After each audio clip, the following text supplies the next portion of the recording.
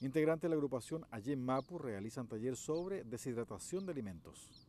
Las mujeres pertenecientes a la agrupación Allen Mapu iniciaron los talleres prácticos que contempla el convenio suscrito entre INDAP Prodemo y la municipalidad cuya duración se extiende por tres años.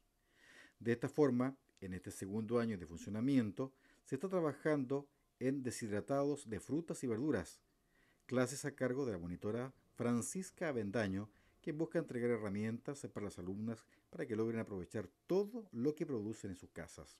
Llevamos dos clases este año. Eh, la primera fue deshidratado de frutas y ahora estamos en el deshidratado de hortalizas y verduras.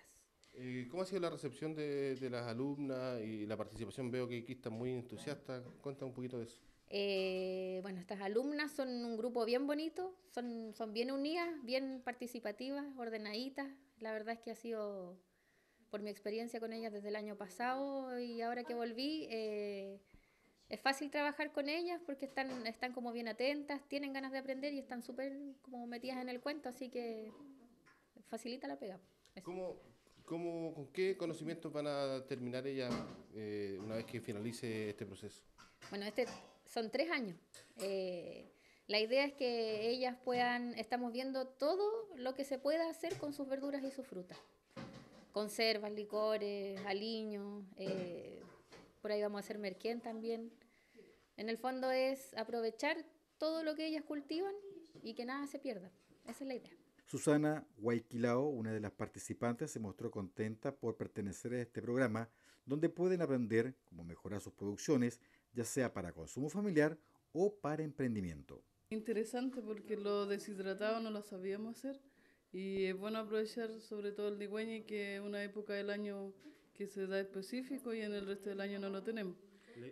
Se supone que con esta técnica que ustedes están aprendiendo pueden utilizar digüeña deshidratado por más tiempo. Claro, en el verano, en marzo, cuando no hay, y así hacer otra de otra manera eh, comida, por ejemplo, sopa, he escuchado que se hace empanada y ensalada. Y más allá de, de, lo, de los digüeños y el alimento en sí, ¿qué te parece este tipo de, talleres para, para, usted y en qué les aporta para su, su diario vivir? Eh, en una manera nos aporta que podemos conservarlo para nuestra familia, para el consumo de nosotros y también para las ventas, para tener un mejor ingreso, saber aprovechar lo que tenemos, porque de repente no sabemos cómo utilizarlo, cómo conservarlo. Entiendo que los talleres igual eh, tienen eh, eh, clases de formación, de, de, asociatividad, eso igual es importante para poder generar emprendimiento más adelante. Sí, tenemos por ejemplo de taller personal que preparan a las personas para que tengan una, o sea, puedan vender, tengan ese carácter para vender, para eh, valerse por sí sola, porque de repente nosotras no tenemos mucho, bla, bla. Y también nos enseñan a sacar costos, de qué manera podemos vender, porque a veces nos sacamos costos y vendimos muy barato y nos vamos... A vender a un precio justo. Sí.